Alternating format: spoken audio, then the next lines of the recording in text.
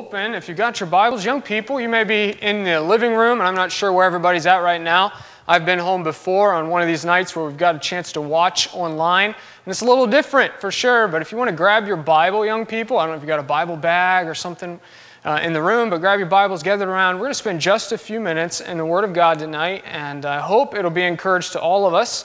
This is different. It certainly is. We don't get a chance to do this very often, and you don't get to see what I see here, which is pretty much an empty audit- auditorium here.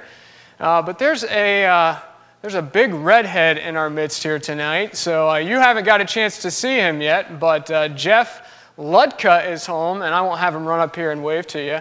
But uh, we'll, have, we'll post a picture of him here at the end with him sitting here with his red socks uh, church approved attire tonight. So, uh, but it's been good to see him. So say hi to Jeff on the comments below. Uh, but we're going to be in Romans 8 tonight, and Romans is a tremendous portion of Scripture.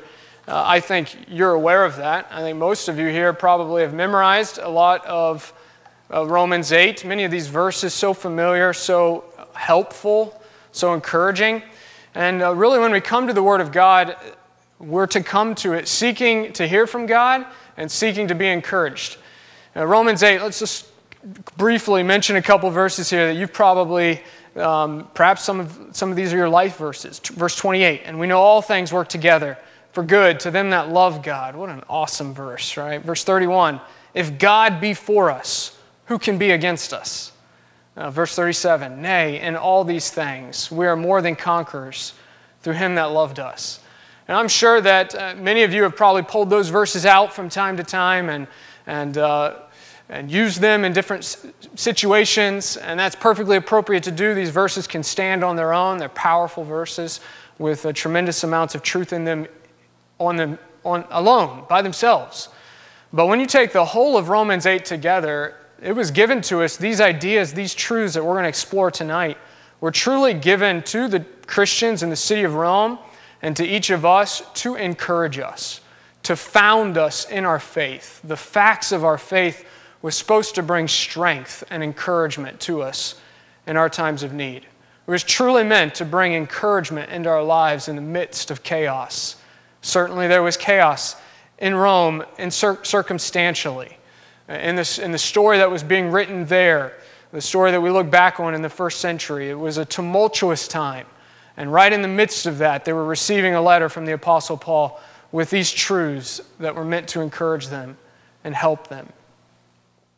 Uh, I think for each of us, this has been, it's been different, right? As we look back, and you've probably heard so much about, I mean, all we've been talking about is the coronavirus and COVID 19, almost, uh, almost too much, honestly. It's just dominated our conversations and our way of thinking. And it certainly isn't something to minimize. It certainly has been a big deal and is impacting a lot of people. Uh, spoke to my brother in law, as uh, Pastor John mentioned, uh, who's not in Peru right now. They just got back on furlough, but just the, hearing about Pastor Henry, and he's down there, one of the pastors of that church. And um, here, my, my brother in law, who's a missionary there, is saying, I just don't know where they're going to find support for even him uh, now that the church isn't meeting. And, and many of those people, the struggles that would be real in talking to Peru. Uh, that's not to be minimized. It certainly is a difficult situation, and that's true in some elements here in the States. And there's a lot of uncertainty. I was on the, actually, I was on the phone. I was texting with someone who's not a part of our church but uh, today, and he, his response to me was a lot of people are afraid. And uh, certainly, we've seen that. I mean, you can't, you go to the headlines and CNN or Fox News and you see what's going on in the world right now, and it seems like since middle of last week, about this time last week to today, it's just been hourly. Things have been changing, and it's, uh, it's new territory for most of us. I spoke to Miss Lily this week, and uh, she is a, a, a, beautiful, elegant older lady. She's above the age of 80, we'll say that much. And, uh, but she said to me, she said, Micheal, I've never seen anything like this. In all my life, I've never seen anything like this. And in my 34 years, I'd say the same. I've, I've never seen anything like this. Uh, but we know, and we know this for sure, that something like this is going to, uh, it's going to go through. I think the president said it's going to wash through, right? And there'll be a point in the future when we look back on this and we'll say, uh, I remember those days when we did this and we did that. And, uh, you know, there may be some, some things that are remnants that hold forward from this. Uh, we don't really know, but we certainly know uh, we will get through this. It will wash through. And we're also aware that this isn't really new. Things like this. Uh, we have certainly had struggle, whether it's individually or personally or family or uh, in certain areas of the country. We've had struggles that have consumed our thinking in the past. We're in one right now, and we'll certainly see one in the future. Man born of woman is a few days and full of trouble. It's just part of our reality, it's part of being human. We see these things, we approach these things. And we prayed for Don here a few minutes ago, and uh, in all reality, what we're dealing with right now uh, pales in comparison uh, to what he's dealing with. And we're praying for him, believe God's going to do some big things. Uh, but there's certainly more serious things than even what we're dealing with with this virus and what it's doing in our country today. So we're aware that these things are happening. And I'm thankful as I've been observing and watching online and the people I've spoken with, uh, this church is responding in faith in moments of crisis. When other people are responding in fear, we've seen our people stepping forward in faith. And that's just not this church, it's the body of Christ, uh, not just here in this country, but around the world. The testimonies of faith in times of struggle. Uh, living out our faith when it's our moment and our opportunity to do that in the midst of a fearful world. And that's exciting to see. But we need encouraged. And from time to time, we as Christians, whether it's today in this moment or to be in the next moment of our life, we have to find something that grounds us. We have to find the facts of our faith and remember these things and be grounded in them to sustain us and bring stability in difficult times. And Romans chapter 8, maybe as eloquently as any portion of Scripture outlines for us the facts of our faith in which we find stability in times of struggle. You know, I think for each of us, when we deal with something difficult, we're kind of, I mean, not even difficult, just normalcies of life, really. We deal with things on kind of two levels. One is emotionally. We're emotionally driven people. Uh, we tend to react to things. I've told my wife many times, hey, this is a great day. I'm excited about today.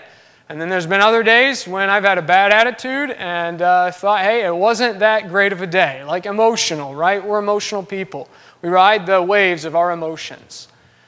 Uh, so we're emotional. Even in spiritual things at times. You've probably been there with me where you've said, you know, I kind of, not that I feel spiritual today, but, you know, like, you know, I'm just kind of connecting today. You know, I, I'm, my Bible reading was good. I, um, my conversations with others, I, I feel spiritual today. And then other days when we don't feel so spiritual, right? We're emotional people. So on an emotional level, we tend to ride the waves uh, often. And then also, maybe the second way that we tend to be kind of our, our day-to-day as happens and how we tend to be grounded or not so grounded has to do with our circumstances. Uh, on positive days, you know, we're, we're doing really well. We're high that day. We're excited about things. Uh, even in, the, in church-related things. Uh, for our teenagers that went off to a camp, making decisions for Christ at the camp and just being excited about things. And we know that. We know what excitement looks like. And in those moments when things are going well, it happens, right? Something happens a circumstance changes. We seem to just be smacked with something, and we go uh, from high to low. Isn't it amazing how quickly Christians, ourselves, myself, yourself, we tend to lose our joy by circumstances that are happening in our lives? So we, we have to deal with these things, our emotions, because we're emotional people, and our circumstances, because we tend to ride these circumstances in our life. That's how we live. But the truth of Scripture and the truths of Romans 8 and God's plan for us is that we would find in the truth of our identity in Him His love for us, His control over our circumstances, His presence in our life, that we would be able to live in the midst of chaos circumstantially and what would seem to bring about emotional chaos. And we would be able to find stability and steadiness and peace that is not riding the constant wave of emotions and circumstances, but is grounded and is steady. Romans chapter 8 brings us to these truths, the these truths of Romans chapter 8, verse 31, the these things that Paul spoke to that can ground us in the middle of difficult times. Before I list those for you, and we'll do it briefly tonight, before we work through that list, I'd like you to remember We'll even put it to you in a bit of a rhyme so you can kind of hopefully hold this and be able to, to remember this as you go forward this week. But before I do so, I think it'll help us if we just focus for one second on who these people that was getting this book, receiving this letter were. All right? So think with me for just a second. First century Rome, the Roman Christians, the church in the city of Rome. The church in the city of Rome would have been uh, in a lot of ways made up of individuals that, that, that are not that much different than we are, right? So, in, in some ways, they had a lot in common with us. We would just assume that many of them were married. Those of you that are married, that are listening to this live stream, you know about the joys and the struggles of married life. So would they, right? Uh, many of us uh, have children or we have parents, young people, right? So we know what families are like, and so did they. They knew about that. So those things are in common. They would have also known um, about sickness, as we know about sickness. They would have known that. They would have dealt with it, just same way that we do, common things. They would have dealt with financial stress, certainly. They would have, in many ways, if you know their story. And so do we, in many ways.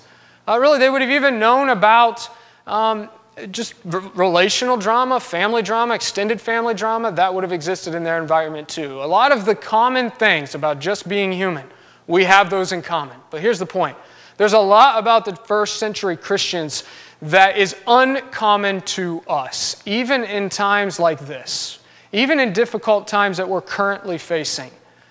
Let me remind you for a minute. These Christians in first century Rome, Rome was not exactly a safe place. If you know anything about your history books, was not exactly a safe place for Christians. I don't mean to scare you, young people, at all, but it was a, a dangerous place if you were a Christian. You could lose uh, your home. You, if you were a Christian, you, you, you could lose your home, you could lose your job, and many, many, many lost their lives just simply for being a Christian. Nero, the emperor at that time, was a crazy man, and he hated Christians. And he was even known, and don't let this frighten you, but he was even known to take Christians and and uh, burned them in his garden as lamplight for his gardens. Gruesome things, but those things were happening if you were a Christian. Uh, gladiators in colosseums uh, taking the lives of many, many Christians. It was a dangerous thing to be a Christian in that setting. Here's my point. If Paul was writing to the first century Christians a letter, and in it he intended them to examine the facts of their faith, and to step forward with courage and to step forward with strength and stability. And he intended them to receive encouragement through it. And they were encouraged. If it was sufficient for them in their moment, then it is sufficient for us in our moment. The truths of who we are in Christ, our identity, and his love for us.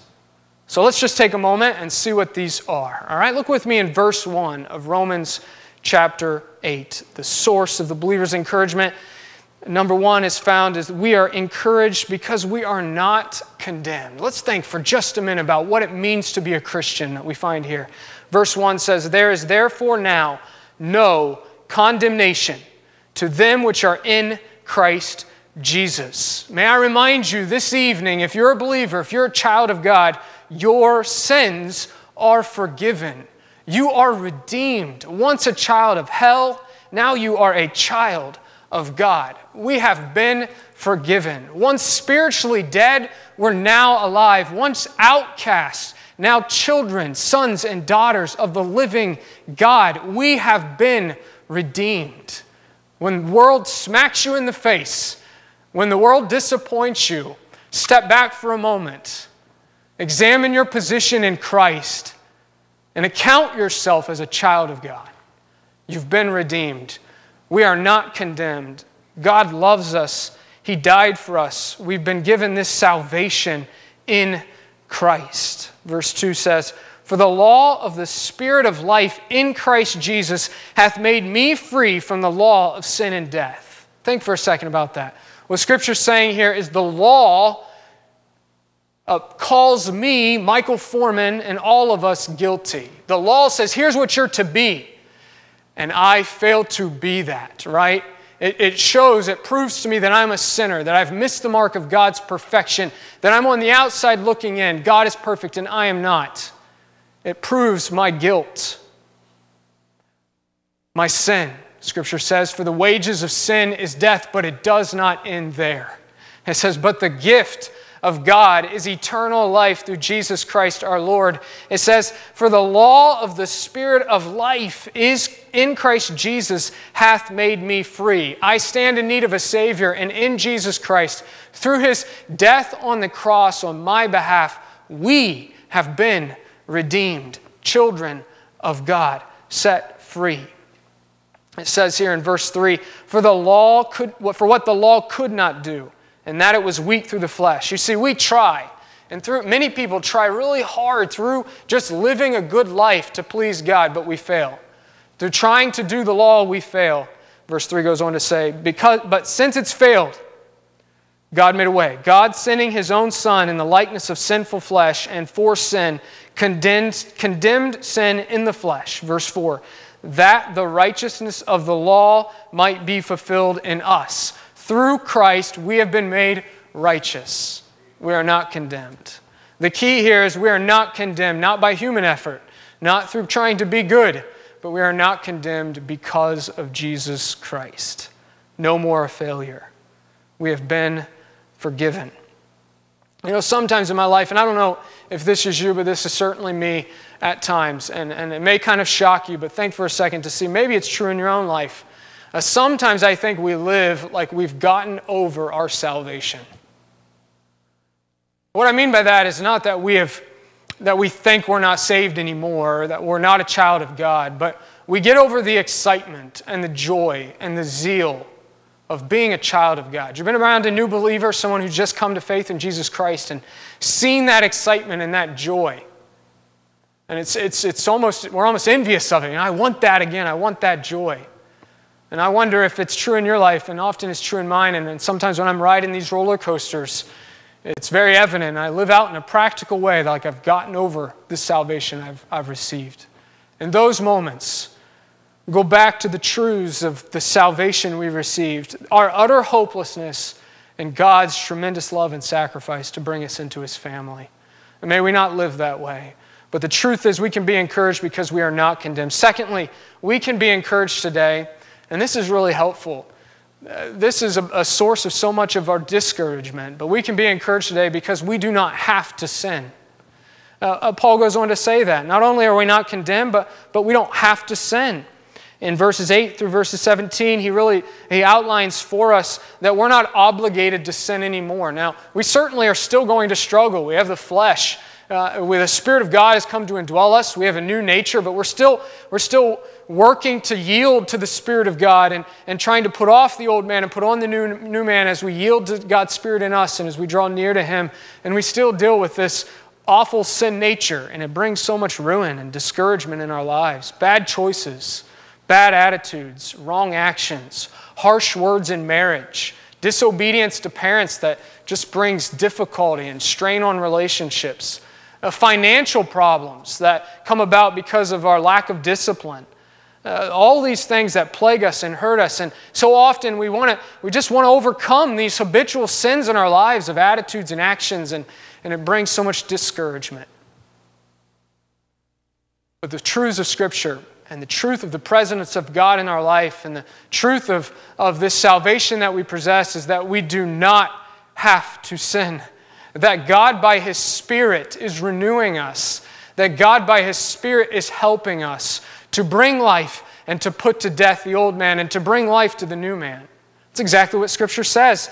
In verse 12, it says, Therefore, brethren, we are debtors not to the flesh to live after the flesh. For if you live after the flesh, ye shall die. But if ye through the Spirit do mortify the deeds of the body, ye shall live. Back in verse 11, it, Scripture tells us that the Spirit brought life to raise Christ from the dead. The Spirit which indwells us brings life to bring newness of life and to, and uh, to, to bring about the new man and the formation of, of God's work and bring about a spiritual life in our hearts. But it's also there to bring to death the flesh in our lives. This, think for a second here on this idea of mortify. Well, what does that mean? Well, that just simply means to put to death. We're to mortify, we're to put to, put to death our sinful attitudes and actions. But don't miss this. We often say in our own life, you know, I, I want to please God, and I, am so I'm going to kill this thing that's been plaguing me. I, I don't want to have that attitude. I don't want to act that way. I don't want to lash out with my temper. Or maybe it's, a, maybe it's an action in our life that, that we just want to die and we want to kill it and we try and we fail and we try and we fail and we try and we fail. Because we try and we fail without yielding and running to and seeking the presence of the enabler, the one who brings life and the one who puts to death. What does it say here? It says, If ye live after the flesh, ye shall die. But if ye through the Spirit, through the Spirit, do put to death, do mortify the deeds of the body, ye shall live. You see, the key is the presence and the help of Christ. 19 times the Holy Spirit is mentioned in this little this chapter. Because at the key of all of our encouragement and the key of all of our success, success is not from us trying to be good Christians. It's from us seeking the presence of Christ and seeking the help of the Holy Spirit and drawing near to Him, whereby He transforms us into the image of God. You see, if you're struggling today, then run to Jesus. Run to the help of His Spirit. Draw nigh unto God, and He promises He'll draw nigh unto you. Put forth your effort, but fall on your face in, in, in humility before God and say, I need your help, Lord. Help me in my moment of weakness. You see, God, by His Spirit, brings us to a place where we don't have to sin. So be encouraged today. We are not condemned. Be encouraged today we don't have to sin. Number three, be encouraged today, believer. He is coming again. Scripture here brings out our understanding of the presence, the coming presence of Christ. You know the hymn, This world is not my home, I'm just passing through, right? Well, that's a reality. When the weight of this world gets too much for us, remember this is not our final destination. Uh, we're not living for this world. We have to live in it, we have to do business here, we got to conduct our lives here, but there is more to love, there is more to the life we live than what is right in front of us. You see, we have the Spirit working in us, bringing a little heaven to earth, and then we have a future eternity with God forever, an eternity to spend with God in heaven. Sometimes we're so narrow sighted that it brings discouragement when this world fails us. But when we look at the big picture, that this is just a moment, a blinking of the eye, and eternity lies in front of us, be encouraged. He's coming again. What's he say in verse 18? For I reckon that the sufferings, listen to this, for I reckon that the sufferings of this present time are not worthy to be compared with the glory which shall be revealed in us the, the, the sufferings of these days are not even, don't even begin to compare with all God intends and wants to do in our lives today and for eternity. Verse, 8, verse 22 For we know that the whole creation groaneth and travaileth in, in pain together until now. And we've seen that. Uh, we live in a world that's full of trouble. We're in it now, we'll be in it tomorrow. Verse 25.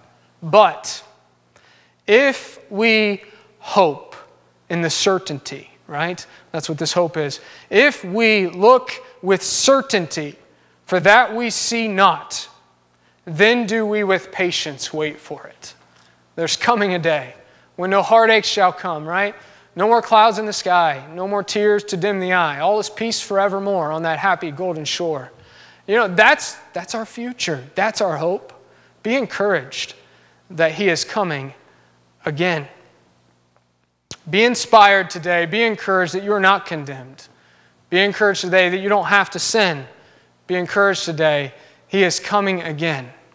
But you might be thinking and saying, that's great, but what about now? sure, he's coming again. And, and I'm looking forward to that. I really am, Micheal. I'm, I'm looking forward to that. But what about now? Romans 8, God by his Spirit speaks right into the now. So here's, here's what we can bank on now. Be encouraged today. You're not condemned. Be encouraged today. You don't have to sin. Be encouraged today. He's coming again. But until then, He is with us. He is with me. His presence is real and abiding. Look at verse 26. Likewise, the Spirit also helpeth our infirmities. For we know not that we should pray for as we ought, but the Spirit itself maketh intercessions for us with groanings which cannot be uttered. He's saying here, likewise, the Spirit helps us in our weakness. Uh, even when we don't know how to pray, when we're so discouraged in the moment and we don't even know what to say, God, by His Spirit, prays for us. He's our advocate. He lifts up those prayers, the rightful prayers, to the throne of God, and, and He takes those needs and our weakness before God. He's, our, he's with us. He'll never leave us nor forsake us. His presence, the promise of His presence, the reality of His presence is just as real today at this moment as it was for the Christians in the catacombs in Rome in the first century. It's just as real and as present as it was for the Apostle John when he laid his head on the chest of the very Christ, on the body, the body of the actual Jesus, of Jesus Christ. Just as real as he was to the first century Christians, just as, he, as he, real as he was to the apostles, he wants to be that to us. He offers that to us. He is with us, He is present. Yea, though I walk through the valley of the shadow of death, I will fear no evil, for thou art with me. Thy rod and thy staff, they comfort me. Believer, God is with you. When the cares of this world get heavy, when you start to feel lonely, when you're discouraged about what the future may hold, be encouraged. God is with you, He's in front of you, He's around you, He knows your future, He's leading you into green pastures of His provision. He's guiding you to still waters of His peace and His comfort. He is present, He is with you. Not only can we be encouraged that He is with us, but we can be encouraged because He is for us. Verse 31 of Romans chapter 8 says, What shall we say then to these things? If God be for us. He is for us. The Almighty God of the universe is on our side and has our best in mind at all times. What does verse 28 say? And we know that all these things work together for good to them that love God, to them who are the called according to his purpose. He's working things together, all these things, all these things all these things together for our good.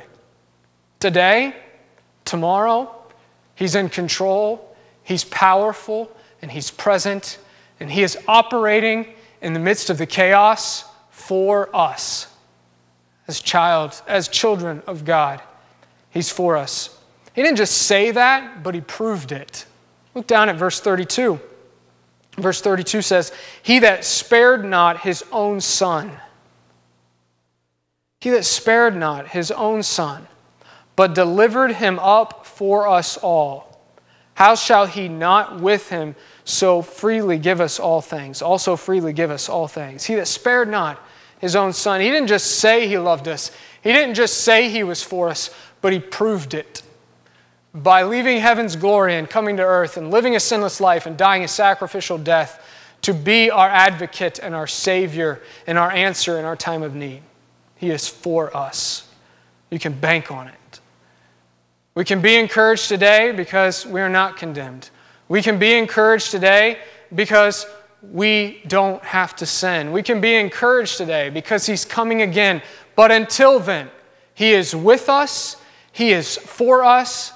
And I want you to see this because most profound of all these truths is this final truth in Romans chapter 8.